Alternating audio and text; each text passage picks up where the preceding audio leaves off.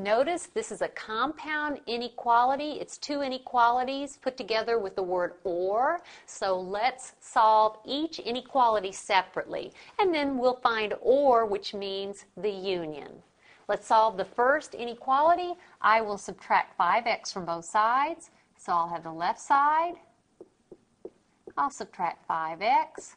And the right side, I'll subtract 5x. Notice I have 6x minus 5x, which is x, so that's x plus 1 is greater than 4. How do I finish solving this inequality? I will subtract 1 from both sides. Here's my left side. I'll subtract 1.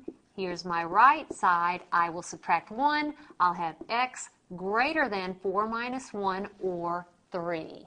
So I've solved my first inequality. Now let's solve the second inequality. I will subtract 1 from both sides. So I'll have 1 minus x minus 1 is greater than negative 4 minus 1.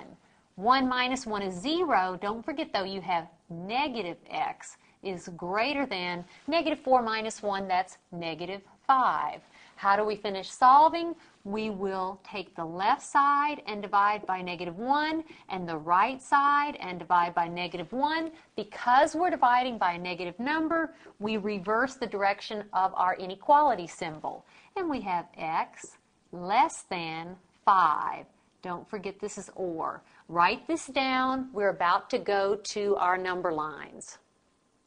Let's finish solving this compound inequality. I like to use three number lines when solving. Remember this means union. So on the first number line, we'll shade all numbers greater than 3. So that will be a parenthesis at 3 and we'll shade to the right because we're shading all numbers greater than 3. On the second number line, we'll shade all numbers less than 5. So I'll draw a parenthesis at 5, and I'm shading all numbers less than 5. Now, this is union, so I want to now shade anything that's been, any number that's been shaded on this number line or on this number line. Can you see then that I would shade the entire number line because between the two number lines, everything's been shaded. So if I shade the entire number line, what would be my answer in interval notation? I have shaded from negative infinity to infinity. Every single real number is a solution to the original compound inequality.